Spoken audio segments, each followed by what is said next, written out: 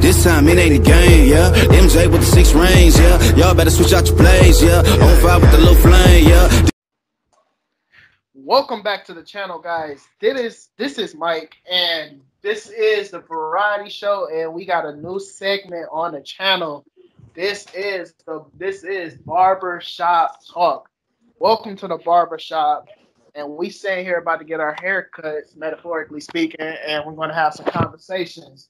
Joining me today is my dad and my uncle. What's up? What up, dog? What up? What up? And I'd like to thank my dad for, for giving this ideas, for making for giving this ideas. So this is what we, we're gonna talk about. What do we think?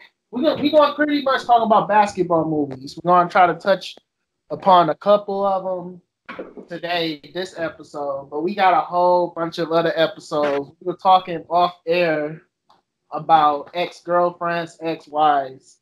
Um, that's going to probably be a future video because if we talk about that now, that'll be really a long video. But if y'all want to see that video, leave it down in the comment section. So yeah, what do you got? Let's talk about basketball movies first. I'm to start off by saying my favorite basketball movie of all time is probably Coach Carter. What about y'all? Oh, man. There's been a lot of basketball movies. Uh, name a few. Coach Carter sticks out. Uh, Glory Road. Um, uh, Love and Basketball. Above the Rim. Uh, um, Blue Chips. Just name a few. I think for me, my my favorite one, Coach Carter is definitely up there. What Coach is Carter is definitely up there. But I don't know. I guess for me, probably my favorite basketball movie is uh, He Got Game. Mm. Yeah, he got game was pretty good. Um, like you mentioned, love and basketball probably gonna hit on both topics because love Yeah. scene plus the basketball. You know, so I know a lot of women they love that movie, Love and Basketball. Oh, definitely. Um, I gotta go with one of mine's, man. White Man Can't Jump, man. Remember that one right there. I remember that one. Uh, White Man Can't Jump, hustling movie. Everybody trying to hustle each other. Uh, just to me a classic. Um, I also like Above the Rim, man. Tupac was in that. Marlon Wayans was in that. Yeah, that's a good, that's a good movie too. Uh, to me, just, I just feel that that was a another classic. Uh, you can't go wrong with um, he got game, and I think y'all sleeping on Sunset Park, man. Uh, I actually haven't you seen say that. Sunset Park, man? Did you say we sleeping on Sunset Park? Sunset Park, man. I thought that was uh pretty. It's time to get live. It's time to represent Sunset Park. What time is it? Yeah, I, I remember that one, man. I haven't seen Sunset- it. Mikey, that was before your time. What year did it come out? Ah, Sunset Park had to come. I come. want to say like mid-nineties. 96, 97, something like that. It, it was mid 90s, mid to late 90s. It was like 96, 97. Okay. So I think Yeah. we should almost categorize them because some of them, like Love and Basketball, is a basketball movie, but it's not a comedy. Nah. It's not. Uh, trying to think. Uh, what's the name? Of, uh, what's the name of the basketball movie with uh, Will Ferrell? Will Ferrell. Yeah, Flint Tropics. You know what I'm talking about. Semi-pro. Semi-pro. That's a basketball movie, but it's a comedy. Mm. Yeah. Uh, I was looking at somewhere they even consider Teen Wolf uh, a, a basketball movie. Now, if you haven't seen Teen Wolf, it's probably one of the most cheesiest movies you can watch. Michael J. Fox Easier turned into a werewolf, and now since he's a werewolf, he has to know how to hoop, and he the man around the city. But looking at again? Go ahead. I'm just saying, looking at like um, love and hip hop, you know, that's one of those uh, romantic, uh, you know, those one of those romantic dramas type thing. That was real good. He got game just kind of covered the spectrum for me. It was, you had Denzel in there, so you can't go wrong with that. Now, Ray Allen was a little, he was a little, yeah, but Denzel was in there, so he kind of made that movie. Uh, but White Man Can't Jump had Wesley Snipes and it had um, Woody Harrelson in it, so they had some pretty good actors in there as well. I got an underrated basketball movie, Rebound. With Um, Martin, what's that with Martin Lawrence. Is that I the one where seen he got kicked? Is that the one where he had to coach a middle school team because he Yeah, kicked I- out? Oh man, yeah. Yes, that's underrated. That's that's a very underrated. Underrated. Um, yes, I, lo- I love that movie. But Coach Carter is still um my number one. You got I'm gonna say. Coach Carter and he got game and love and basketball had probably the best acting of the basketball movies. But White Man Can't Jump, even though it was kind of a comedy, it still was a good movie. The, uh, the acting in there was pretty good.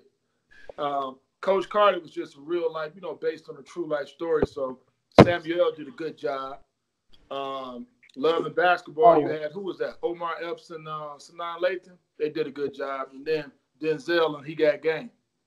Yeah. Pac wasn't bad in um, Above the Rim. That was just more of a, a hood classic right there. Yeah. It's it's really it's all right. Let's talk about some bad basketball movies. And I'm putting Space Jam uh, as a bad movie. Did any of y'all see Uncle Drew? I haven't seen that. Oh yeah, oh, I saw part of it. I saw part Um, of it. I haven't finished watching all of it. And, you know, that's a comedy right there. Uncle Yeah, Drew it's a up comedy.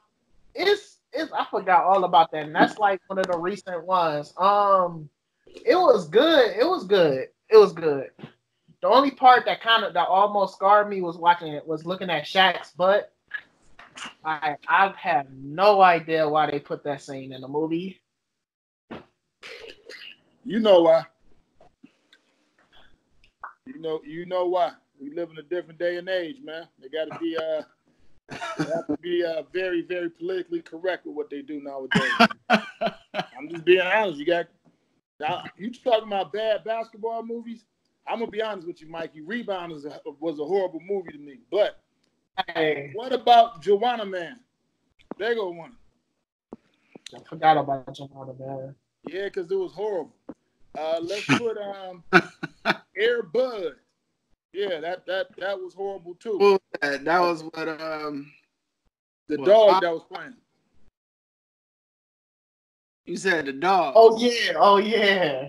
Yeah. Oh, like yeah, I sir. said, let we can keep going with some bad bad. Uh, Just Wright was was Oh. garbage with Queen Latifah and um Common. see, that one to me was not as bad. Both of them for somewhat act. I just I thought the writing wasn't the best. It wasn't like their acting was horrible. That whoever wrote that, they just kind of came up with some garbage. Uh, Latifah was playing out of character too. uh, well, we know she was. Uh, Celtic,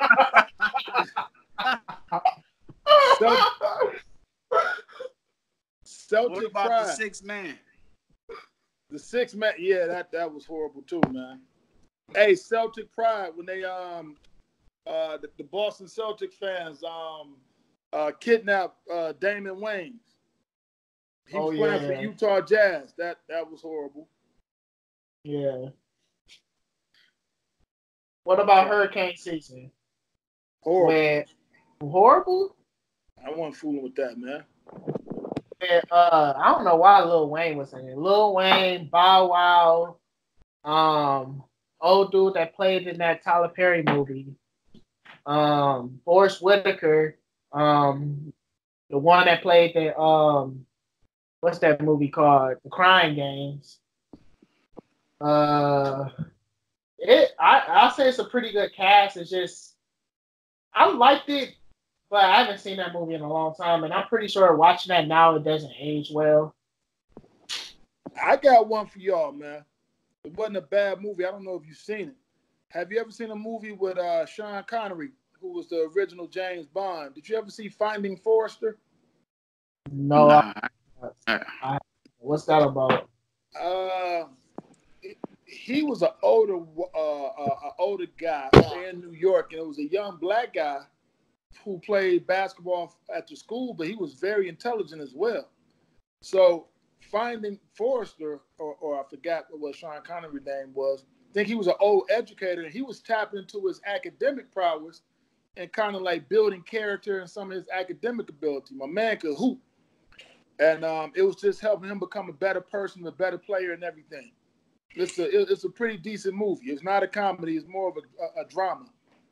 I think I did see that movie. Was it that? It, don't they have a scene where um, old dude was just over dribbling, and he told him you don't have to over dribble like that, something like that.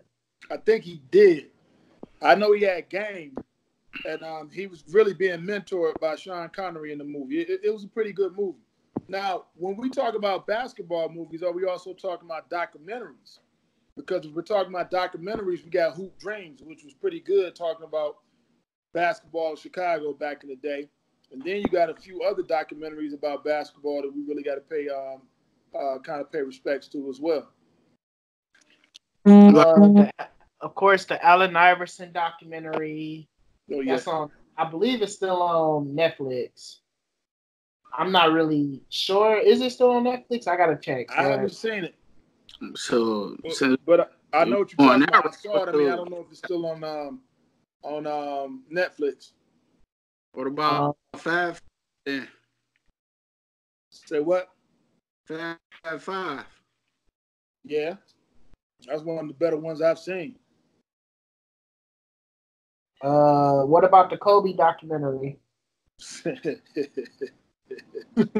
yeah. Now,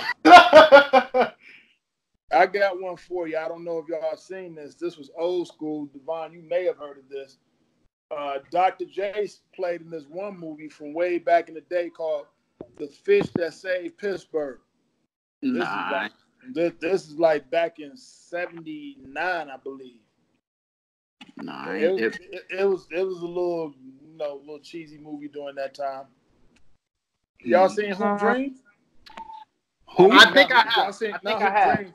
Have you seen uh, Blue Chip? Blue Chip? Um, no, I haven't seen it. What's Blue Chips?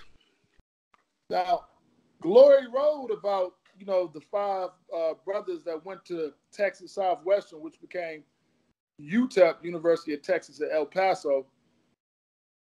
That was a good movie.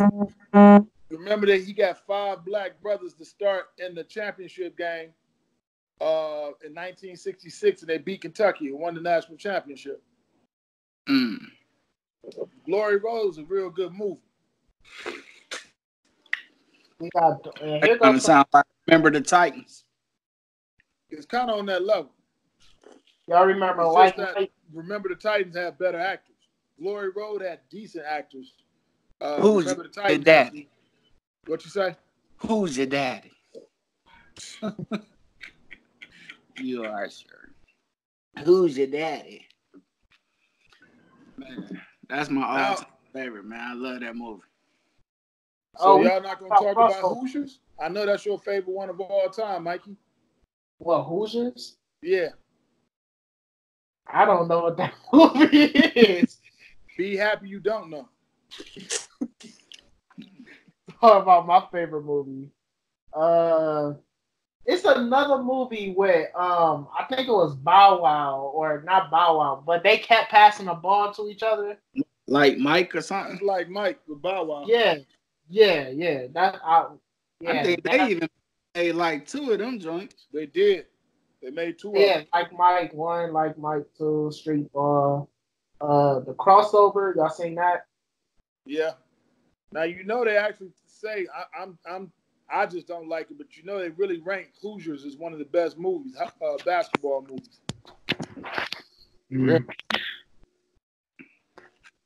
Well, if it is, if it is, then I guess everybody should know it. But do you think, or I got a question for y'all. Do you think they should make more basketball movies besides the new Space Jam 2 that I'm really not excited to see? But what about y'all?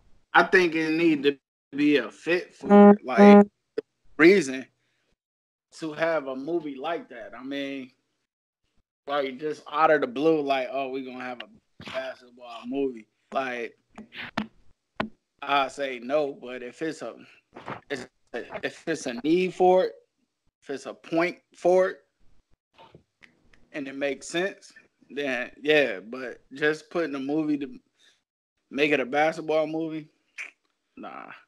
Yeah, and I'm just wondering. It's been a long time since the first Space Jam came out. I don't know what's going on with this whole making sequels multiple decades mm-hmm. after the movie came out. They doing it with Bad Boys. So that Bad Boys Three is about shoot. Bad Boys Two came out like 2001, 2002. So it's been almost 17 years. They doing a sequel to Coming to America, and not Wow. after 30 years, and now you ready to do a sequel for Space Jam that came out in like 94. I don't know. In my opinion, that's way too long of a wait to make a sequel. Yeah. Uh, like the only way I could see them really doing se- not sequels, like if they just reboot it. I wouldn't mind a reboot or a remake. I mean, That's yeah, that, fine. a remake is cool. I mean, kind of like what they just did with The Lion King. That's a remake, not a Oh, sequel. that's not, It's- that's not it's- talking about that. That's not talking about that. Oh, well, I, I, I got to use it as an example. Uh, they, they, I almost would think it would be better to do a prequel as opposed to doing a sequel uh, if you waiting this long. Prequel 'Cause to that's what? whatever they choose to do. Um, I guess. Um, speaking of prequels, um, uh, since we just talking now, um, what what y'all think about the new? Well, I know Dad not really into the MCU movies, but the Black Widow, they having a sequel, a, a prequel on her. Do you think it's too late because she's dead? You think it won't do good because she's dead with a sequel on her? And from what I'm hearing, she's going to start off. Well, technically, Spider-Man: um, Far From Home started off Phase Four, but since the announcement, Black Widow will be the first movie that's coming out. I don't think it will do bad. I mean, at the end of the day, uh, Star Wars a lot when they started doing prequels, a lot of those people had already died. So when we watched the Star Wars series, a lot of them are already dead. so it just went back and showed you what led to um, uh, Darth Vader, his his whole beginning, his whole creation. Uh, they did a pretty good job with the character development from that standpoint. But I mean, when they made those movies in the early parts of the 2000s, some of them individuals were already dead. So it still didn't uh, prevent people from going to watch the movie, so especially the younger generation. So I think they can do it. People are Yeah. starving right now for uh, this whole Marvel thing. Yeah, being that- honest. I'm saying, I was like, man, saying like they could just put out any kind of Marvel or whatever, and people Yeah. just go see it. It's just people just are into that. Like for me, can't get no bread out of me. I mean, I mean, with the MCU, um, what people don't really talk about is not all their movies are good. Like the best Thor movie is Thor Ragnarok. Thor one, Thor two wasn't good.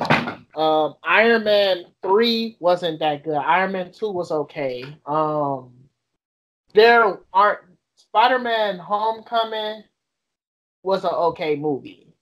What make what it's Marvel does like the MCU does make bad movies, and it's crazy that pe- that's something people really don't talk about like that because how popular it is. But MCU does make bad movies. Like I got a quick question. For y'all.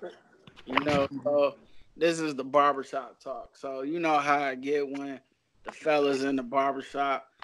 Do Yeah. you mind your barber like really getting involved in the conversations that's going on in the barbershop? Or do you like, dog, just cut my hair, man? It depends. It depends on what kind of mood I am. Because I, I'm just gonna say it. Y'all know who my barbershop barber is. but man, every time he got a phone call, answer it. Um, yeah, it- like my haircuts be taking. I got high top. My haircuts be taking like 20, 20 minutes.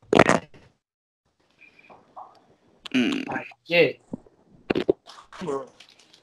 Y'all can't forget, I don't have the same problem y'all have. So, not an issue for me. I'm my own barber. But even when I got my haircut, honestly, to my black barbers, it's almost gonna be impossible for them not to jump in the conversation. Um, I'm not gonna say impossible, but most of them gonna jump in, especially if it's something that's relevant to them. Talking about relationships or something like that, that's gonna happen. And I mean, you know, part of that, part of the barbershop culture is Mikey. They're gonna answer their phone. They're gonna run outside real quick when somebody come through with the dinners and buy a dinner. That's why it's, it's the black barbershop. That's the type of stuff they do. We don't have a CD man no more, but you know how I go. All right. Oh, they still around. My uncle is one. Man, I just I hate what I hate about Bootleg CDs. the barbershop is when like for me, like I make an appointment. I normally call my barber like, hey, how many you got? You don't got none, I'm on my way. Or he only work on the appointments on Friday and Saturday. Mhm. So you say, hey, I want to make an appointment for this this time. When you get there, for me, I'm expecting to either wait by like five, ten minutes before I get in the chair. But I'm not expecting to wait 30 minutes before I get in the chair, especially if I make an appointment. Oh, I got something worse. I got something worse. I like. I told my barber what time what time he wanted me to be there, and he say, "All right, twelve o'clock." I get there, he ain't even there. Um, that that happened to um that used to happen with my barber. Barbers, I mean, we keeping it real. It's on that hood level. They be running out. They be going to get something to drink, something to smoke on if they smoking. Not a sing- I mean, come on. You told us just like, hey man, where you at? You said be at 12. Hey, I'm on my way back, man. Be there in five minutes, which we know means 15. So you got there at 11:55. You don't start cutting your hair at 12:20. And Yeah. then honestly, I used to look at the brother coming in after me, who I know is supposed to get his hair cut at twelve thirty, and he only ten minutes into my head. Man, Yeah. Hey, I think that's that's that's our common thing. Like, hey, I'll be there in five minutes. No good well you done left the house. Mm-hmm. but we can be honest, that that spills over into other other things. We know there's all certain people within our realm or spectrum of friends and family that I'll be there in five minutes. That means half an hour. We know that their their time is straight up CP time. I'm right Pop them, around. pop them. with that camera. Oh man, with that camera. Always taking pictures, man. Hey, try. I know you know I'm filming like that, boy. I tell you. So we know that's just a reality. Hey, I hope y'all enjoyed the barbershop. This the first episode. So what y'all think? I'm asking y'all, I'm asking y'all, people that's on the chat right now, what y'all think should be the first the next episode? Y'all wanna talk about exes or it could be whatever.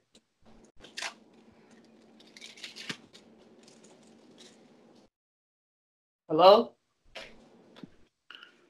Yeah, I mean, I thought you talked to X's, people on the chat. X's is gonna be a. That's probably gonna be an interesting conversation. I, my take on it, I think normally dudes pretty much gonna say the same thing. Mm-hmm. You know, like if you hear one dude's story, you, You can pretty much relate and put yourself in his same shoes. That's I don't know, how you, man. you-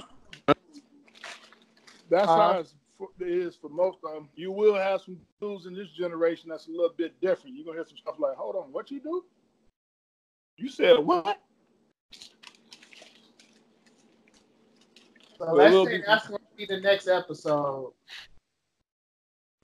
Whenever that will be. It's like That'll be I'm still That's gonna be Huh? the next episode. Yeah, it might be the best video on the channel. Watch. Maybe, but trust me, it's gonna take more than one episode to get into that. Oh, oh, oh, that might be its own series. How how to deal with an ex, especially in my situation. How to deal with an ex when she go to your church. And then every time, then every time when she got to do exhortations, she always mention me. How I so far broke her heart. How dare you, man? I am. I, I ain't break nobody heart. Uh, I, I ain't like that. You must understand, Mikey. Her feelings are valid. So if that's Hey, how she if I feels, that's say, what happened. if I say, if I say I don't want to date you, like, if I no, it's Yeah, we're gonna wait till the next time. Just keep that right there. I, All I right, can hear, so- I can hear the passion coming up. Right, right. hey, and ladies, if you on this channel, if you if Mick got any ladies that's on this uh that sub to his channel, you know, leave the comments. You know, let us know what y'all really think about the dudes out there. yeah, Please do. yeah. So just recapping, what's everybody's favorite basketball movie? I said he got White Man Can't Jump for Divine. Mikey, what was yours? Coach Carter. Coach Carter. Yeah, I think it's three good picks. So yeah, that'll do it for the barbershop. We out. We got done getting our hair cut, except for Trey, and we're out of here. Peace. You can't forget, I cut mine more than y'all. I got to cut it every day with little bit left. So hey, every day at barbershop for me. All right, all right. We out. Peace. All right. This time it ain't a game, yo. LeBron James coming through the lane, yo. Y'all better switch out your plays, yo.